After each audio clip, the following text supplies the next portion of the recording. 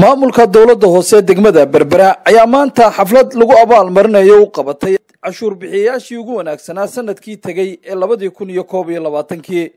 Xafladdaasi oo lagu qabtay xarunta rugta kutubta berbera ayaa waxaa ka soo qayb galay guddoomiyaha gobolka saaxil doctor axmed maxamed xaashi meeyarka degmada berbera xogayaha maamulka dowladda hoose mas'uuliyiinta shirkadaha la abaal marinayay iyo dadweyne kaloo aada u tiro badan. Ugu horreyna waxaa halkaasi ka hadlay xogayaha maamulka dowladda hoose degmada berbera suhayb maxamed cali oo faahfaahin ka bixiyey abaalmarinaha ay maanta siinayaan cashuur bixiyayaasha ugu wanaagsan.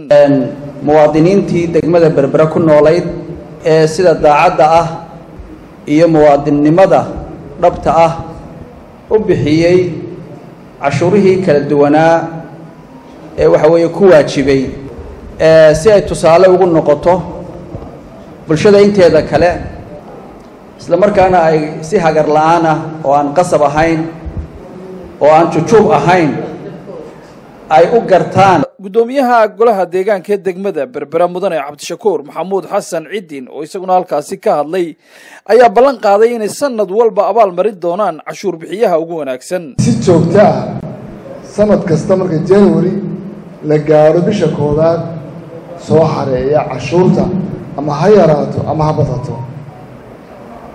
Waxay noo weheliyaa oo aan maanta ku darnayn doonaynaa sanad kastana inaan insha allahu kordhinno oonu saro soo qaadno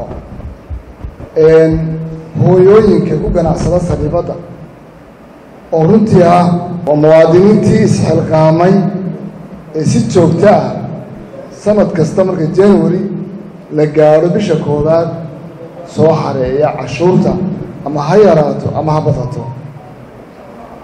Waxay noo weheliyaa oo aan maanta ku darnayn doonaynaa sanad kastana inaan insha allahu kordhinno oonu saro soo qaadno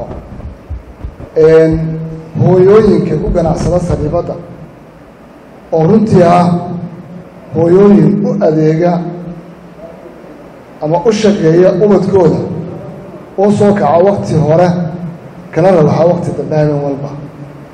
Waxaan aada ugu ammaanayaa haweenka sariibadda jooga inay yihiin kuwo is-og oo iskalkaaliya oo iscaawiya hooyada sariibadda fadhida ee tamaandhada miisaysa iyo dadka kale ee cashuur bixiyayaasha ah waa waxoodii oo la ilaaliyey ayuunbay ku suuro gashay berberiinay qurux badna waxaa kaloo iyaguna halkaasi ka hadlay qaar ka mida mas'uuliyiinta shirkadaha la abaal marinayay iyo dadweyne kaloo ka soo qayb galay munaasabadaasi. Wax badan way qabteen. Sidaa awadeed bay doo gobolladii kalo dhamaynagu aan wax kale ma gartee waxaan gartaa uun. Marka gobollada kale nagu hinaasana berberaha caynkana berberaha caynkana.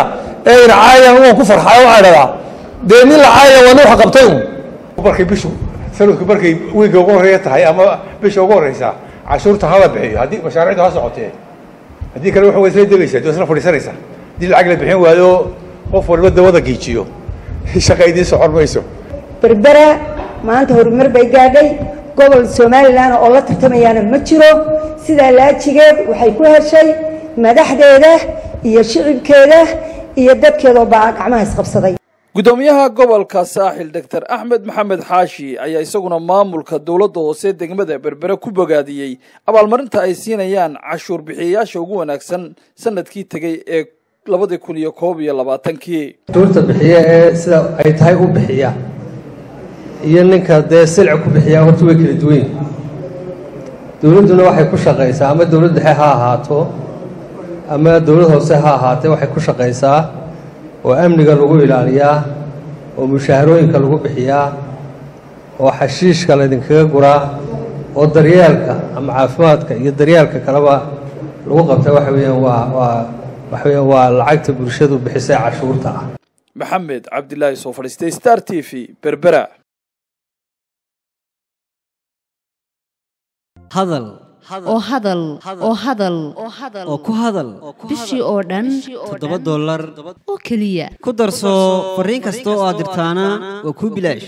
Haddaba si aad ugu shubato adeega kaafiye fadlan garaac xidig siddeed eber siddeed afargees ama xidig laba eber laba afargees isticmaal shabakadda ugu ballaadhan geeyiga somalilan